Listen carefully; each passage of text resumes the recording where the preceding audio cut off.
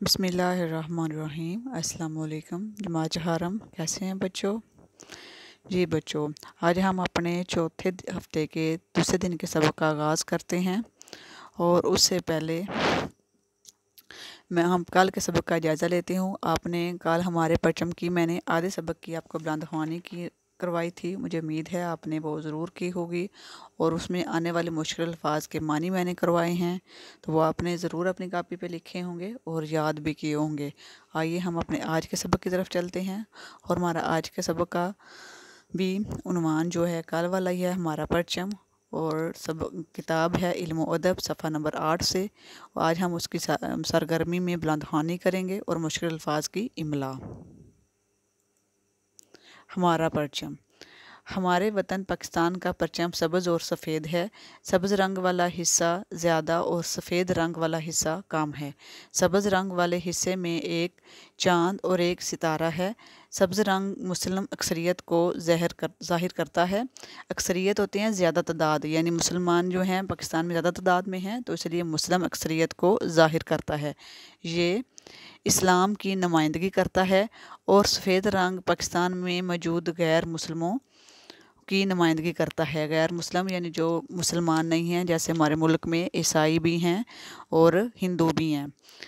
लियाकत अली ख़ान ने जो पाकिस्तान के पहले वज़ी अजम थे इस परचम को पेश करते हुए कहा था, ये ना महसूस किया जाए कि यह परचम किसी एक सियासी जमात या किसी एक बरदरी का परचम है, बल्कि ये पाकिस्तानी कौम का परचम है। मुझे ये शर्फ हासिल है कि मैं इस परचम को पेश कर रहा हूँ और मैं बिला खौफ कह सकता हूँ कि ये परचम इनके लिए है जो आज़ादी इतिहाद और मसवात के लिए खड़े होंगे।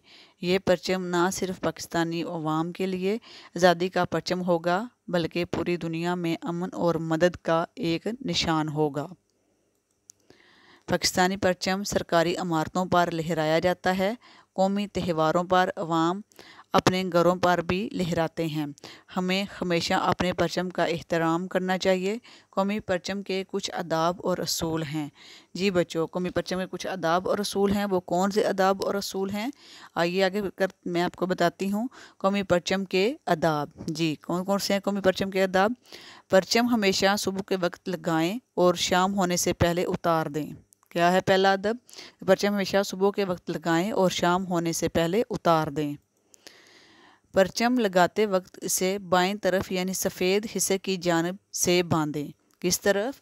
परचम लगाते वक्त इसे बाएँ तरफ़ यानी सफ़ेद हिस्से की तरफ़ से बांधें। परचम को ज़मीन पर ना गिरने दें। जी, परचम को ज़मीन पर ना गिरने दें। परचम को हर किस्म की गंदगी से महफूज रखें।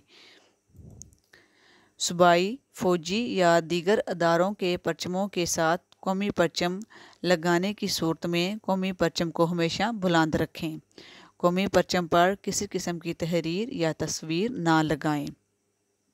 तो बच्चों, आगे बढ़ते हैं और नए अल्फाज हैं और उनकी आपने इमला करनी है। कौन कौन से हैं नए अल्फाज? शनाख्त, परचम, अलामत तोानाई हलाल, सिमतों, मुसवात, दारियाँ, लहराया, सरकारी इमारतें, तस्वीर, नुमाइंदगी